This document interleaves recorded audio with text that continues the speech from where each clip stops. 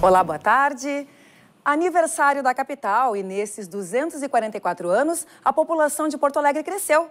E com isso cresceu também a frota que diariamente circula no trânsito.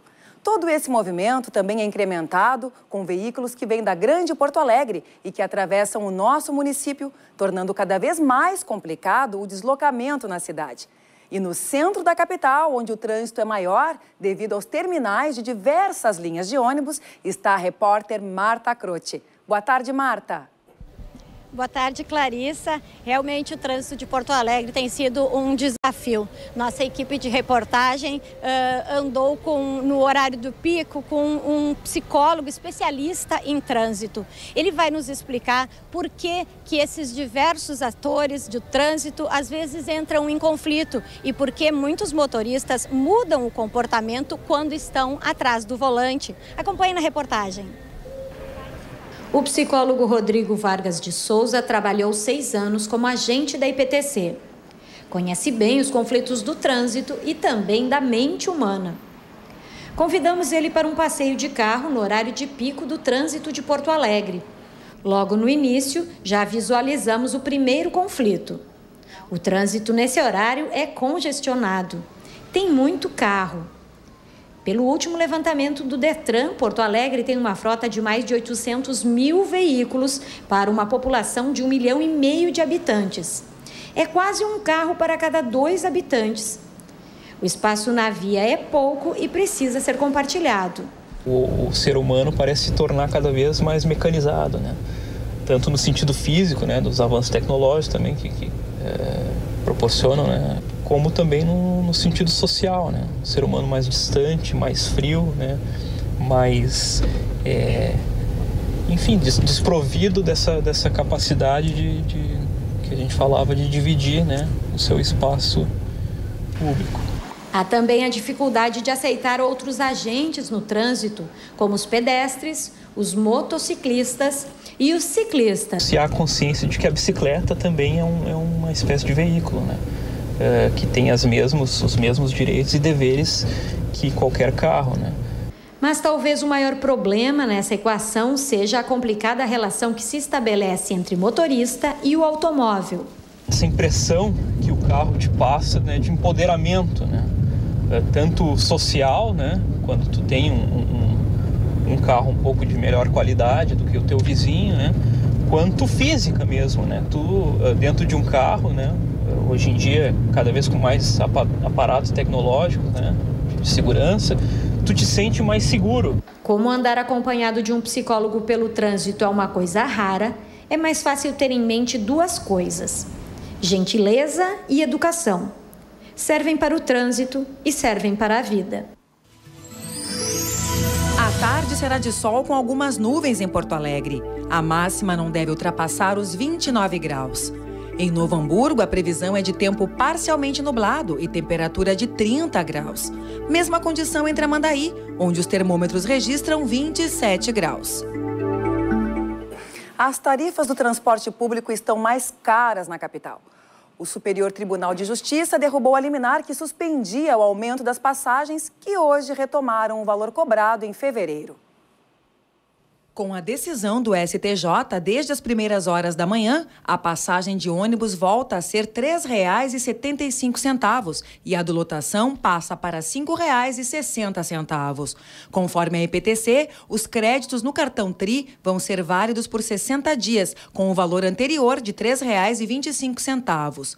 Conforme a Prefeitura, o processo do novo sistema de transporte coletivo teve o acompanhamento e fiscalização dos órgãos de controle e da sociedade e, por isso, não houve ilegalidade na licitação e no cálculo da tarifa. Outra cidade gaúcha com aumento nas tarifas do transporte urbano é Lajeado, no Vale do Taquari. Entrou em vigor nesta semana o novo valor das passagens de ônibus. Subiu de R$ 3,10 para R$ 3,40.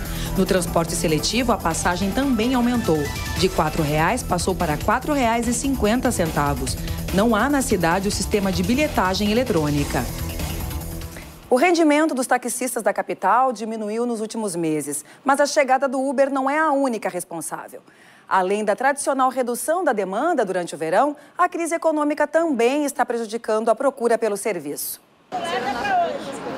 Todas as noites, Vladimir anota os valores recebidos pelas corridas de táxi e percebeu uma grande queda em março em relação ao mesmo mês do ano passado. O grande problema, eu acho que é a economia, que a esse problema que vive o país aí afetou todos nós, a gente tem outros tipos de coisas e realmente caiu muito. Para Cristiano, a redução de corridas chamadas pelo aplicativo de celular chega a 30%. O movimento diminuiu principalmente à noite. Meu pai trabalha no dia, tem vários amigos que trabalham no dia, então está estável. E a gente sentiu muito de noite, falando com os colegas aí, é de noite mesmo. Marcelo também percebeu a queda no número de passageiros. Tem uma influência do Uber também nessa história que eu acho que a IPTC tem que dar uh, conta disso, porque a gente, se não fizer vistoria e tiver o selo da vistoria vencido, a gente é recolhido. Se não tiver carteirão, é recolhido. O Sindicato dos Taxistas de Porto Alegre acredita que, em tempos de dinheiro curto, o táxi é uma das primeiras coisas a serem cortadas do orçamento mas afirma que há uma concorrência desleal desde o estabelecimento do Uber na cidade, já que o serviço não é regulamentado. Eles podem trabalhar sem cumprir nenhuma regra, inclusive cobrando uma tarifa menor que o custo do serviço de táxi, com claro intuito de desestabilizar o sistema de táxi estabelecido. Se ele for fixado em Porto Alegre, até mesmo como concorrente do Uber que está chegando, eles vão abocanhar em torno de 50% do mercado. Para a EPTC, a chegada da Uber e de outras empresas que oferecem transporte privado mostrou que a população pede serviço de qualidade e os taxistas precisam se adaptar a este novo cenário. Nós estamos fazendo a nossa parte e nós esperamos que os permissionários do serviço, que o próprio taxista, ele se dê conta que ele tem que é, é, melhorar a prestação de serviço, tanto na, na questão da, da, da educação, na higiene, na, enfim, todo o, a, o, processo de prestação de serviço para que a população volte a, a, ter uma outra avaliação do sistema de, de serviço de táxi da cidade. Até a primeira semana de maio, a Prefeitura deve encaminhar para a Câmara de Vereadores um projeto de lei que prevê a regulamentação do serviço oferecido pela Uber. Em Caxias do Sul, a previsão é de tempo parcialmente nublado, com possibilidade de chuva no decorrer do período. Faz 27 graus. Mesma temperatura em Passo Fundo, onde o sol aparece entre algumas nuvens. Em Ijuí, o clima é semelhante e a máxima prevista é de 29 graus.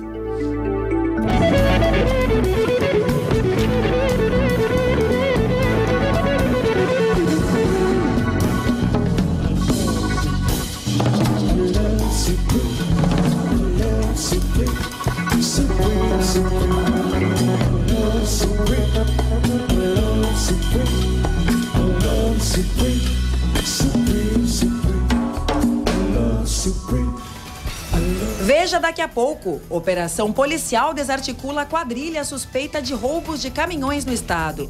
E em instantes, número de acidentes de trabalho na construção civil preocupa trabalhadores e empregadores no Rio Grande do Sul.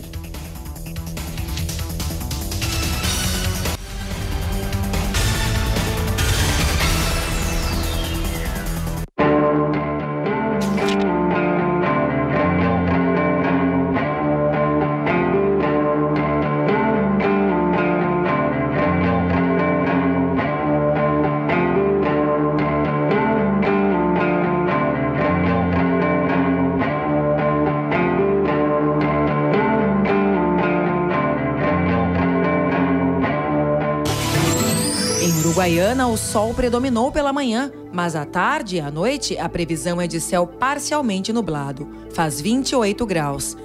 Em São Borja, céu parcialmente nublado e temperatura na casa dos 29 graus.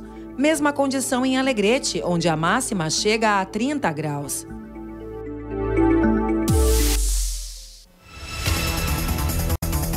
A partir de abril, não haverá mais cobrança extra para as contas de luz. O anúncio é da Agência Nacional de Energia Elétrica.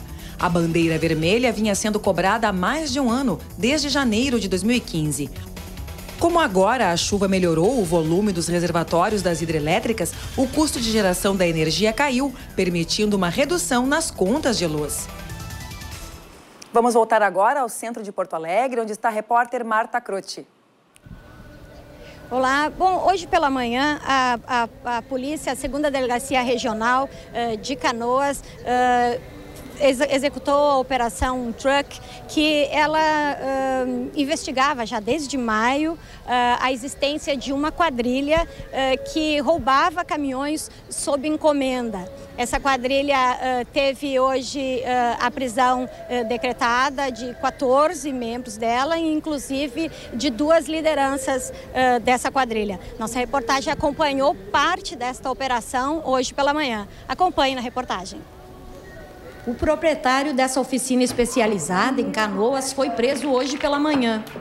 No local, que ainda está sob inspeção, a polícia já encontrou dois caminhões e uma caminhonete com irregularidades, como chassi adulterado e placas que não correspondem ao veículo.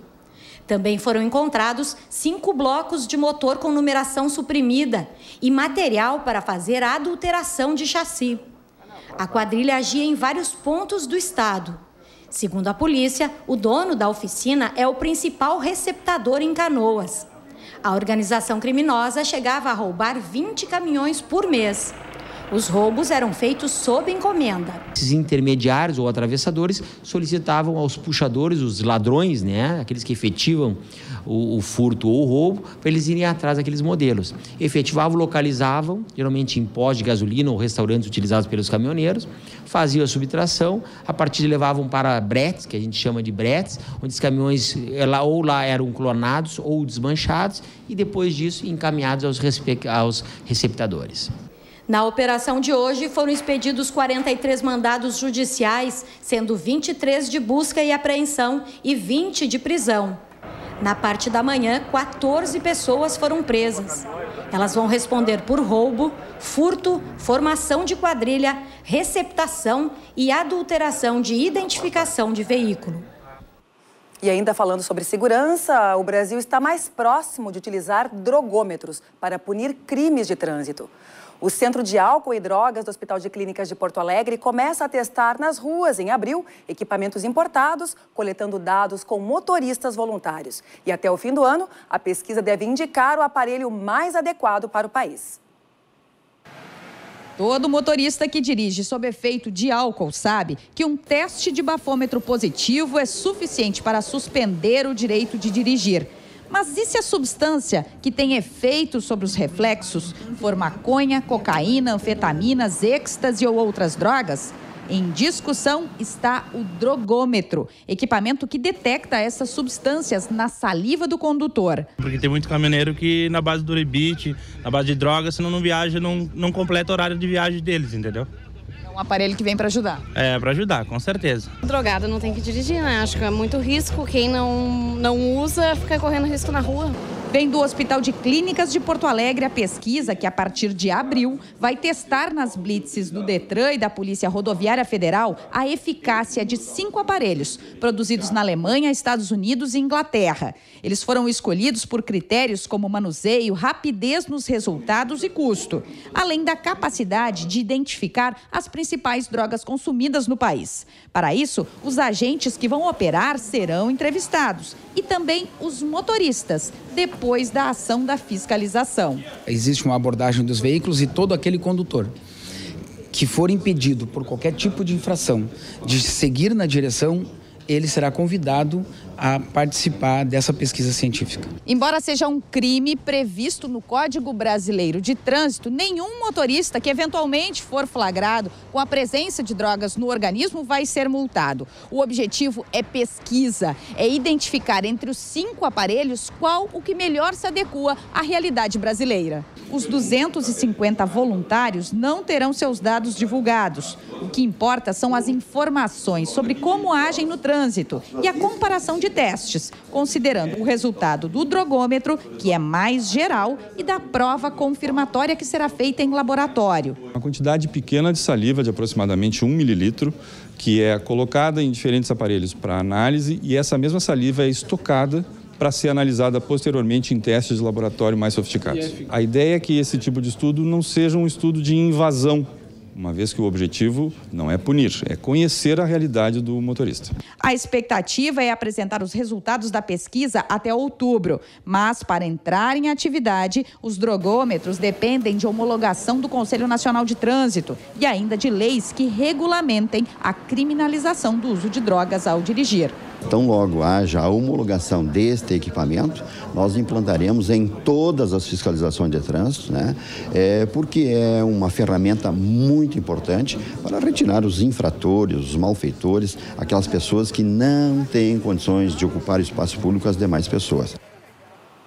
E agora vamos falar de segurança, mas no trabalho. O número de acidentes no trabalho na construção civil preocupa trabalhadores, empregadores e técnicos do trabalho. Na região noroeste do estado, só neste mês, três pessoas morreram em acidentes, nas cidades de Ijuí e Santo Ângelo. Os detalhes na reportagem da TV Ijuí. O Rio Grande do Sul ocupa o terceiro lugar no país em acidentes de trabalho. Em média, um empregado morre a cada dois dias no estado. A maioria dos acidentes ocorre em construção civil. Só neste mês, dois acidentes de trabalho na construção civil levaram duas pessoas a óbito aqui em Ijuí e uma terceira pessoa na cidade de Santo Ângelo. O caso de Santo Ângelo não foi em construção civil, mas também foi um acidente de trabalho. Um jovem fazia manutenção em uma rede de telefonia e teria escorregado, pois estaria chovendo no momento da queda. Para tentar evitar mais acidentes, o Centro Regional de Referência em Saúde do Trabalhador realiza um trabalho de conscientização, mostrando aos trabalhadores e empregadores a importância da prevenção nos canteiros de obras da cidade. O trabalho que a gente faz aqui no Sereste hoje de prevenção eh, é mais direcionado às unidades básicas de saúde aos agentes comunitários de saúde, tá? esse pessoal então do, do sistema, né, do SUS. Tá? Eh, a gente está capacitação para esse pessoal, para eles estarem fazendo essa vigilância, né, tendo o olhar da saúde do trabalhador, então, nas empresas né, da nossa região. Em 2015, ocorreram 103 acidentes. Por isso, para que os operários possam se prevenir dos riscos de uma obra, é necessário o constante uso de equipamentos de proteção individual. Equipamento do qual Gabriel, que é encarregado desta obra, não abre mão. O uso do equipamento é essencial, não, não se tem como trabalhar hoje em dia sem ter o equipamento de proteção. De 2 metros a 20 metros de altura, tu pode morrer. O empregador ele tem a obrigação de dar esse equipamento, tá? dar o treinamento também do uso, tá? E também cuidar e fazer essa, essa fiscalização para o trabalhador estar tá usando esse equipamento. Tá? E o, o, trabalhador, então, tem a obrigação de usar o equipamento e ter o cuidado né, com, com esse equipamento. Para fiscalizar as inúmeras obras, o número de servidores é insuficiente, segundo o técnico. Para atender todos os municípios, seria necessário pelo menos o dobro de funcionários. Céu parcialmente nublado em Santa Cruz do Sul e máxima de 28 graus. Mesma temperatura em Santa Maria, onde o céu terá muitas nuvens com curtos períodos de sol. Tempo parcialmente coberto também em Cachoeira do Sul, onde faz 27 graus. Veja a seguir. Semana de aniversário de Porto Alegre. Projeto leva música para as paradas de ônibus da capital. E também, o museu vai mostrar a história e a tradição das Ilhas do Guaíba.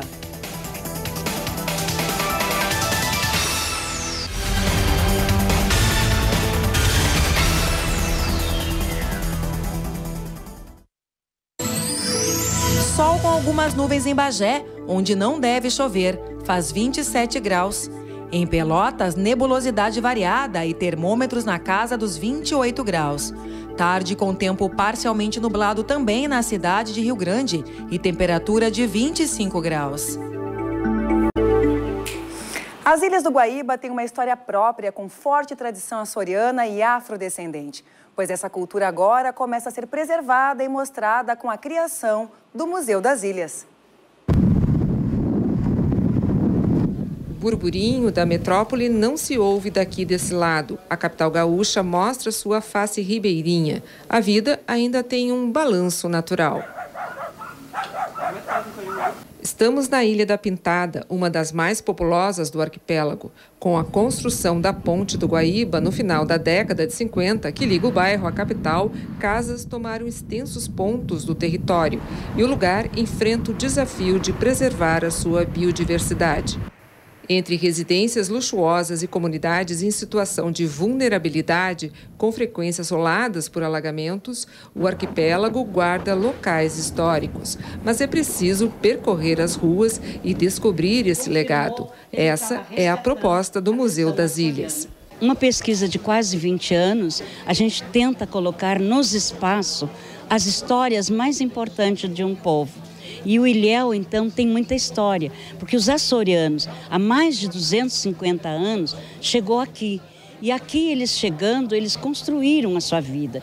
O percurso na Ilha da Pintada tem 25 estações instaladas ao ar livre em um roteiro que revela belezas naturais, fatos sobre os ilhéus e a importância do local para a história gaúcha. Sente a vontade de as pessoas, das pessoas de, de buscarem essa história. Estou vendo aqui muitos jovens trabalhando, muitos jovens envolvidos com isso, querendo montar um museu que conte a história os espaços, assim, cada, cada espaço pensado. Acho que isso vai, vai crescer.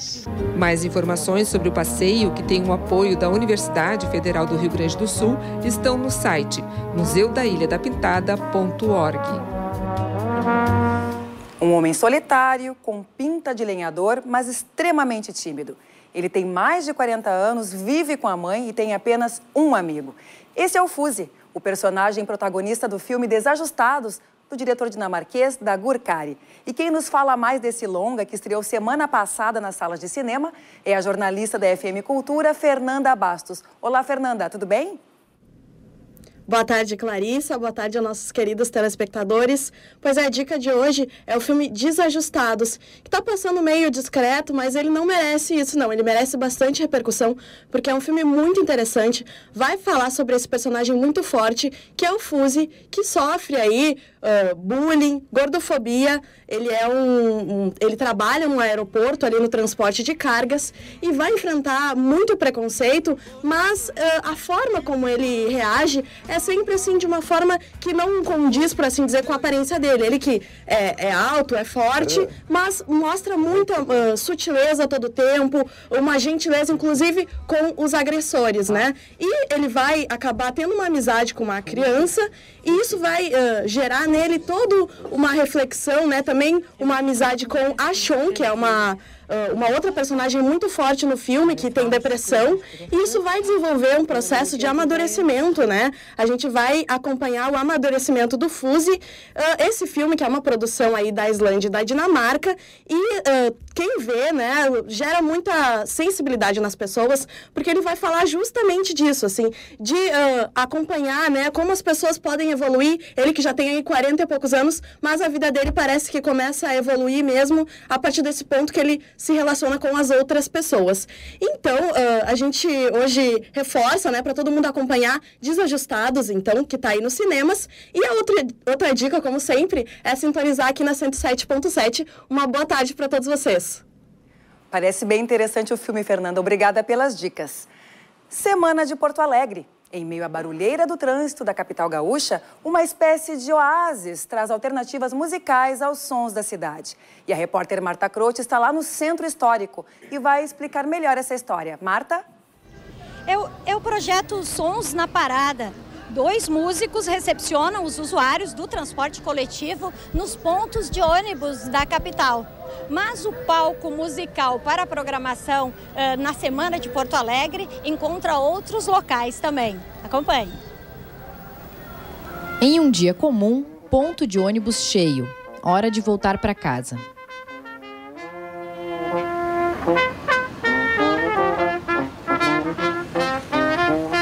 Boa, bem tocado, São Moço. Alegre.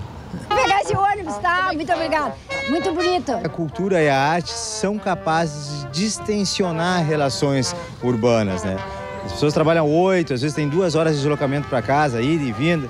E chegar na hora de dar volta para casa, ter arte, música, circo, teatro, recebendo elas entre o trabalho e a chegada em casa é um distensionamento e é isso que é essa proposta. Os músicos Ana e Bono fizeram sucesso na parada da rua José Bonifácio. Eu moro uh, relativamente perto, gosto muito de caminhar, eu tô sempre passando por aqui.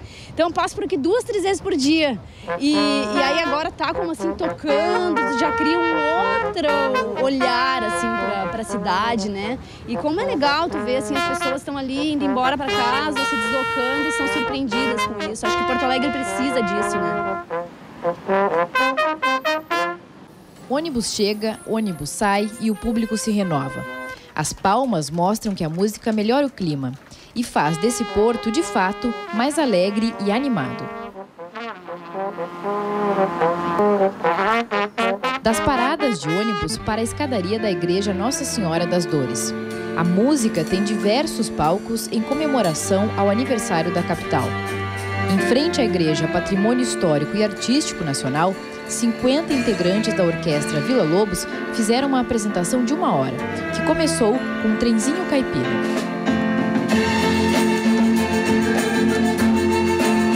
A orquestra nasceu na Escola Municipal Heitor Vila Lobos, na Lomba do Pinheiro, há 23 anos.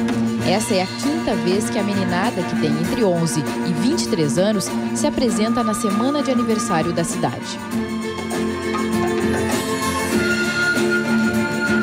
Escadaria já está se tornando um palco já familiar para todos nós. Toda meninada parece que se mobiliza mais, existe todo um cuidado maior ainda nos preparativos e muito envolvimento da comunidade, das famílias, que são todas muito orgulhosas né, de terem seus filhos participando desse projeto. Projeto muito importante. E a orquestra é fantástica, né? É um projeto, projeto muito importante também de resgate das, das crianças da escola e tal, né? projeto muito importante. É importante ter continuidade isso. Eu conheço a escola lá, as oficinas que tem na Vila Lobos, né? É uma oportunidade para eles, assim, para a gente poder apreciar o trabalho na Semana de Porto Alegre, assim. Estou muito satisfeito.